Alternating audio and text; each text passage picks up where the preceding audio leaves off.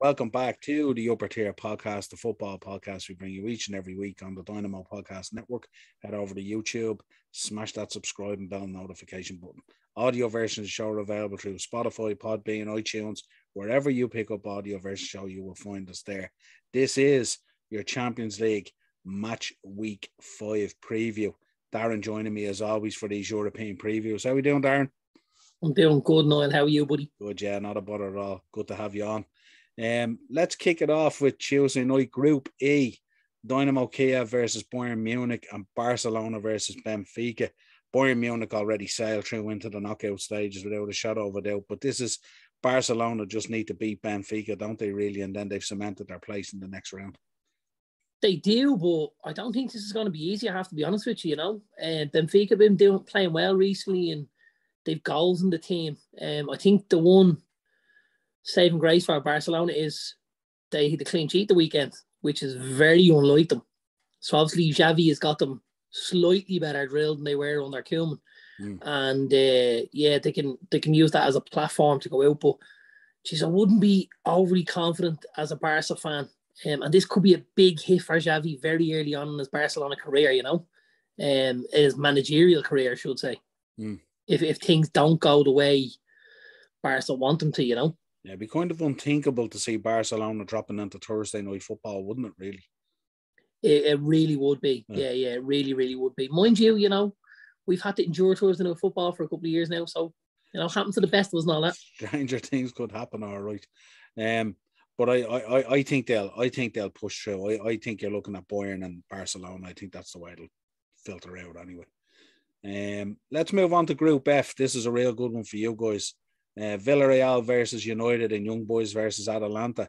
This is a really interesting group insofar as that if if results go potentially the wrong way tomorrow night and Villarreal were to pick up a win and Atalanta were to pick up the win, you boys would find yourselves down on third, wouldn't you?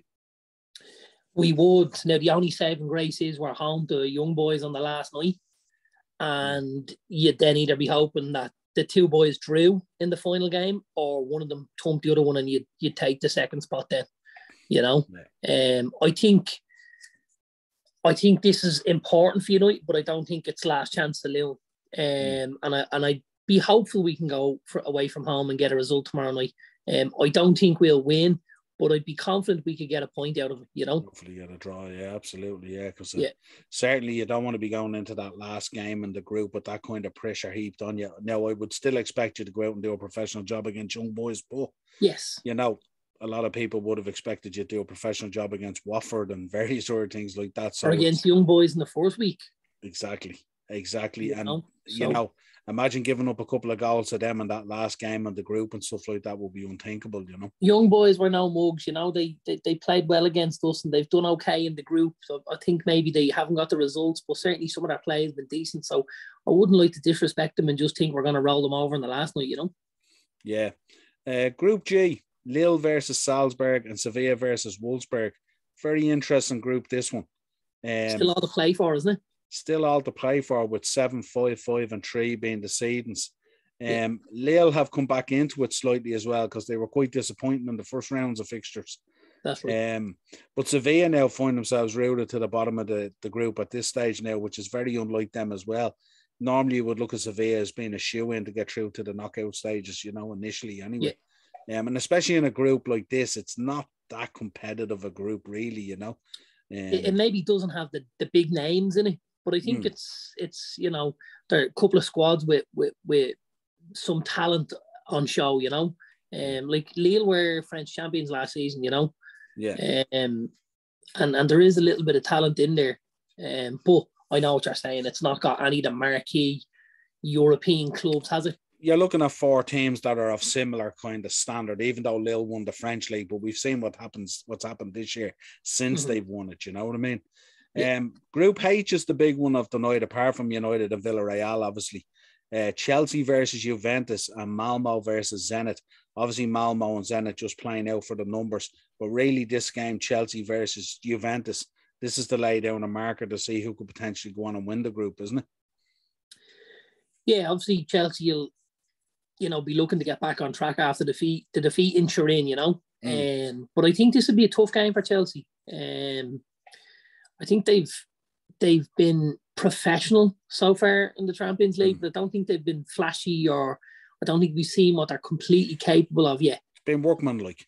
Yeah, it has absolutely. Mm. Um, so yeah, I think this will be tough for Chelsea. I yeah. think um, I, I, probably don't expect them to get the win if I'm honest. I think Juve will come and you know I think Juve will probably get a point out of this tomorrow night, which should be enough to get them through um, in yeah. fourth place. Yeah, Juve are missing a couple of key players tomorrow night though. I think Chiellini is out and Dybala is a doubt. There's a few of them, but um, it wouldn't be unlike Morata to pop up and get a goal. Sure, it wouldn't. Staying and living, isn't he? Yeah, staying and living that boy. But that, but that would be, I mean, Stamford Bridge would be the place where he'd pop up and put the nail in, wouldn't it? Yeah, absolutely. But yeah, I, I, I think, I don't know. I, I've just a feeling Chelsea tomorrow night would be too strong for them. Um, and I think it's, a, I think it might be a question of how many as opposed to the result. That's what I'm thinking, really, in terms of that group. I, I, I, I think you, I think Juventus when they beat them over there in Turin, although they bet them as well, it wasn't really the tale of the the match, really. You know what I mean? I thought they caught Chelsea a little bit cold that night, um, and I thought Chelsea had a couple of opportunities as well. Um, so I, I think Chelsea, I think Tuchel will have the boys ready for it because it's vital for them to win that group going into the next phase. You know. I think they'd like to win it, but you know, I think in the Champions League you're gonna have to be a certain caliber of side along the way. So you, are going to meet someone eventually along the way, aren't you? But but you'd yeah. want you'd, you'd like to be avoiding the likes of the Bayern Munichs in that next round and stuff like that. You know, I mean, that would be key. You would, but and again, uh, not to diminish that, but I don't know whether sometimes you're better off getting them there in the semi final. You know, because maybe they're not quite up for it as much as they would be, and do you know what I mean? Because when you're at that semi final stage, the lads can smell those medals they can smell yeah. that trophy. They're very, very close to it. Yeah. And they just seem to turn things on. Like so many times we've ended up with, with a similar kind of a last four in the Champions League. And you can mm. almost tell what's going to happen just because we've been there before type thing, you know? Yeah. But um, no, listen, I think um, that Chelsea would love to win that group. Um, mm. But I, I don't think it'll be an easy night for them tomorrow night, I have to say. Mm. Yeah, we shall see. Interesting though, but two two fabulous toys coming up tomorrow night between United and Villarreal and Chelsea and Juventus. Going to be a great, definitely night, great night of action. Um, let's move on to Wednesday, Group A, Bruges versus Leipzig and City versus PSG. This is really just for uh, this is just working out really the group, isn't it? I know Bruges are kind of hanging around, but not really. And you called Le- it early Leipzig on. Are, Leipzig are going to finish Bruges off tomorrow on Wednesday night. Leipzig have, have they've come into the come into the themselves in the last few weeks. You know, starting to score goals again. The boy in Nkunku has looked unbelievable, um, and and they've they started to play a bit of football again under their, their new gaffer and stuff like that. I expect Leipzig to beat Bruges and, and put them to bed in this, so to speak. And then I think it's about uh, City and and PSG fighting out for that top spot. Um, but to be honest with you, I see this is going to be a tough tough game week for City. I, I really fancy PSG. I know they haven't been um, hitting their straps necessarily in, in any of the competitions, but I just think when they come up against a slightly better side, they've enough to nick them. Yeah. You know, uh, I think it's because again, you're going to look at the likes of City and City are going to want to play football against these boys. Whereas most of the teams that PSG come up against are just thinking, let's get out of here without getting a hide. Yeah, yeah, it'll be certainly interesting. Two teams who like to play football who could yeah. cancel each other out. What are, what are you thinking in that one tomorrow night? Are you looking at a draw? Do you think PSG might do them? Or? Yeah, I don't think PSG will do them, do City. Um, and I think Leipzig will do uh, Bruges. Interesting. So that, that'd end up with City then coming second in the group potentially and then staring down the barrel of a Bayern Munich or something like that in the draw, which would be or, interesting. Or staring down the barrel at an Atalanta or a Villarreal. Potentially, yeah. Potentially. So, you know, you just don't know how the draw's going to go. You do kind of know, though, when, when you go through to that draw, don't you? And you see Man City there if they're second and stuff like that. You, you look at the draw, and we'll obviously cover the draw on the show, but yeah. you know, you know, Bayern's going to be pulled out, don't you, with the Pep link and all there. It just happens all the time, doesn't it? Could happen, all right. Yeah. Let's move on. Group B Atletico Madrid versus AC Milan and Liverpool versus Porto obviously we know Liverpool are already qualified and gone through with maximum points from four games. So it's really down to AC Milan are kind of really out of the running at this stage. I know they have a point there, and if they won tomorrow night, they might be able to climb above Atletico, but I just don't see them. I don't see them having the quality to do it. It's a big Um, if, isn't it? Yeah, who who are you fancying to come second in this group? Are you thinking Porto or Atletico? All along, I, I kind of thought this was going to be between Liverpool and Atletico 1 2, but Porto have done well to hang on in there, haven't they? And Yeah. I think, you know, they're going to be at an advantage with Liverpool already qualifying at this stage. Um, which means you guys might decide to rest one or two. Oh, we, Uh, we'll hundred percent play a different team, no doubt. you know, and and that could be that could mean listen, maybe you get maybe they get a draw over, but you know it's not going to be easy going to Anfield, is it?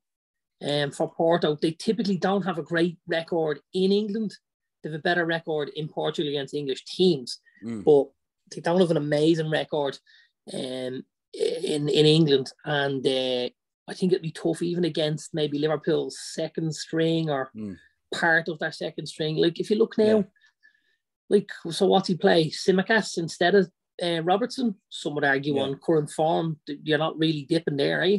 No. You know, you might have Matip and Konaté again. The Yeah. boy Konaté's looked very, very good. Yeah, you'd certainly Uh, you'd certainly be looking at a front line, probably Minamino and Origi out there, wouldn't you? Possibly Minamino and Origi, or maybe he goes with one of the one of the two boys. You know, Yeah, Uh, maybe. Mm. maybe he goes, maybe he goes Salah, Minamino, and Origi in the center. Yeah, because we know Salah doesn't like to miss games. He just wants to score goals. yeah. You know, interesting to see what midfield he goes with as well. But I don't think he'd be risking too much because it's when you've qualified and you've won the group at this stage, it's time to really hold all your aces really for the league, isn't it? And don't be doing that and silly. yeah, I think he probably plays Henderson, doesn't he? Yeah, coming back in as well. Yeah, he could do with a bit of game time. Yeah, You could do with game time. I think he'll give Henderson some game time and stuff like that. And so it's not like if you look at it, it could be a it could be a relatively strong team. Does he give young Keelan Kelleher a game? Maybe yeah, yeah, possibly. Yeah. again. Although you'd probably want, you'd probably want, yeah, possibly, but maybe with Alisson. Um, I know he was good against Arsenal there at the weekend, but his form had dipped slightly in the Brighton and the the um the West Ham game certainly. So maybe you might want to keep him in there to keep that bit of confidence going going into the Possibly. Southampton game at the weekend. Yeah. Um, but yeah, no, it'll be interesting to see how they feel. But it's um also you look at Atletico Madrid at the moment; they're going a bit crazy, aren't they? They're kind of losing the run of themselves a little bit. Simeone's just lost. very, very unatletico like, isn't it? Yeah, very Are we- uncontrolled. Are we getting to a stage where the boys at Atletico have just had a little bit too much of Simeone? Yeah, I think with the creative flair they have there, if you're shackling that, it must get tiresome at times. You know what I mean? When you look at João Félix there, Griezmann, Suarez, like he has an abundance of riches there in terms of quality and play. Thomas Lemar, like there's a lot. You know what I mean? And then you're looking at him saying that he wants to play this kind of grinding kind of football that for lads like that who are flair players, it must be like nearly like I don't know. It's it's, it's like rondos to those guys, isn't it? Really? Yeah, it's tough, isn't it? Yeah, yeah. I think I think be interesting to see what an Atletico Madrid team would be like if you had a flair sort of manager in there. You know, imagine if imagine if no, I know it never happened, but imagine if they had it like a Zidane or something like that. Those boys would probably be on fire. Now I know you'd never get Zidane going to Atletico, obviously with the links, but No, but I know I understand where you're coming from. Like, uh, what would what would they be like with a Ten Hag in there? yeah, Because he is legitimately someone you could go after and say, "Listen, this is what you know." Ajax are scoring goals for fun at the minute and have been while he's been in charge. You know, Mm. and he's given the team a license to roam and to to you know Play, to play a certain way, kind yeah. of foot and express themselves. Mm. And I mean, I think we've only seen glimpses of what the boy João Félix is capable of. You know, he's gone for a lot of money, um, and I don't believe we've seen half of what he's capable of because of maybe the Simeone effect. yeah, absolutely, yeah. Um, let's move on to Group C. Uh, Besiktas versus Ajax and Sporting versus Dortmund. Um, this is a shootout for second place, isn't it? Because Ajax have already qualified maximum points as well. Yeah. Um, but Sporting, Dortmund are away to Sporting, and it's fair to say that Dortmund on their travels this season haven't necessarily been the Dortmund or the Erling Haaland that we know. Um, so this could be a tricky one for them, but this is this is a crucial one because this is like a shootout for second spot. this is this is a big game for Dortmund. Mm. Um, and I just think they're going to have too much for Sporting. Um, I know Sporting have cropped up with a couple of results. We talked about them a few weeks ago and stuff like that, but and they've really come to life in this group. But I think this is a big game tomorrow night. I think when or Wednesday night, I think when when the big teams really, really need it in these situations, they can just find enough to get them over the line. Mm. Yeah, I expect Dortmund to just get out of Lisbon with a victory and, and get them into that next round. Yeah, I, I think so. I think Yeah. so as well. Yeah, but again, if Sporting turned them over, it wouldn't surprise me at all. Um, with what they've been doing on their travels, but safe to say that would be very disappointment for Dortmund as well. That they're not a team that wants to end up in Thursday night football either.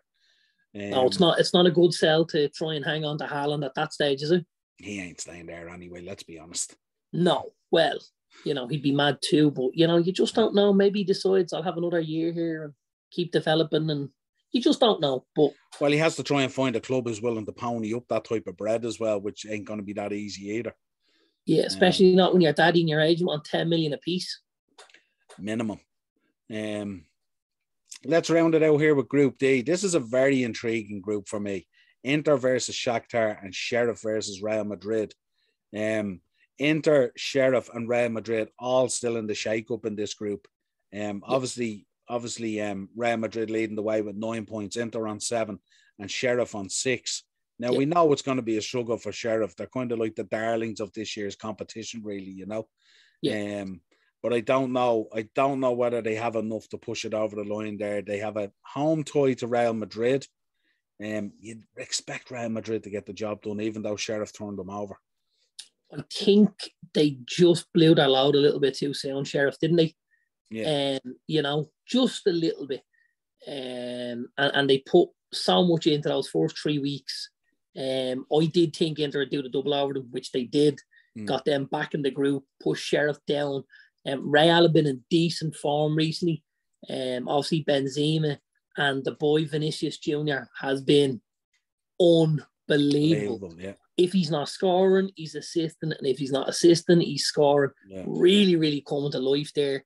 Um, and they've looked a little bit tighter at the back, which Yeah. has always been the problem at Real. Mm. Um, yeah, Real and Inter are are gonna win these two games for me, and that'll be them through to the last to the next phase. interesting. Um, if all these picks come true, it's going to make for a heck of a, a knockout stage, isn't it? You've Yeah, could be some good really big teams in there. Yeah, Yeah, really, really yeah. good. yeah. Um, the pathway to winning this Champions League ain't going to be easy this season for any team. No, but you know, there's always gonna be one. You know, there's always gonna be one result that we don't see. Is it a Dortmund going out? Is it a Barca going out? Is it a United going out? Someone's going into that Thursday night football that does not want to be there. Um, Mm. and, and that's where maybe there might be a slightly easier path through for for another team to maybe a quarter or a semi-final. And as soon as you get the ball rolling in there, you know, it can be can be difficult to stop teams when they start gaining a bit of traction in this over two legs, you know. Yeah, absolutely. Well, this has been your preview, match week five in the Champions League. Sure to be an absolute belter. There's some great toys in there, and certainly a lot of groups still with a lot to be resolved. Um, but we will know come Wednesday evening how the landscape lies. Will United have made it through against Villarreal? Will Chelsea try and top the group against Juve? Lots of stuff still to be decided. Will, as you said, will Barca and Dortmund still be there? We shall wait and see. My uh, my pick is for Barca to go out. Big call that one. Big, You know, I call. always you know I always name me colours to the mast, man. Even with the Xavi, even with the Xavi bump. I think I think Benfica are going to get enough from the Nou Camp to uh, get them through to that next round. I don't know. I think Barcelona could be very dominant against them in the Nou Camp, but that Nou Camp crowd there and all, and with Xavi going in there and all, it's it's going to be a different world, isn't it? We'll see. I don't know. I'd, I'd like to. I'd like to You, think. have been uh, right. You've been right the last few weeks, so you could be putting the yeah. I think um, I really do fancy Benfica. I think they're going to go in and spoil this party. And I think the big thing is they can score goals. They're very, very dangerous. Um, and and I think that's where Barcelona could come unstuck, you know, because we know they don't have an abundance of talent going forward at the minute. Yeah. You know, you've obviously got Aguero who's out of action now indefinitely, more than likely. Um, you've got um, who have we got Braithwaite and De Jong, who are still kind of flattering to deceive. You've got Dembele coming back into it, Fati coming back into it. Coutinho only getting a, only coming on for a cameo at the weekend and stuff the, like the, that. The boy Pedri though.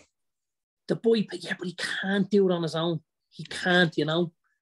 Mm. Um, and if I'm wrong, if I'm not wrong, I think he's out of tomorrow night. Oh, is he?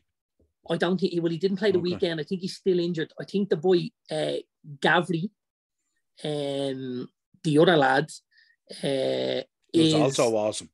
who's also awesome, played on the left of a front three at the weekend. Um, but again, it's it's a tough sell at Barca at the minute, you know. Um, if you look at the Barca lineup from the weekend, three or four names on that team sheet, you'll go, who's that? Like, so that's not a Barcelona team, you know. Yeah. Um, this won't be easy, and I think Benfica have enough in them to get a result here. We shall see. We will wait with bated breath and see what happens. So until Yep. next time, my friend. A pleasure as always doing the show with you. Dynamo Podcast Network on YouTube, Spotify for audio versions of the show. Let's see how these picks go for Champions League preview match week five. Cheers, pal. Thanks, brother.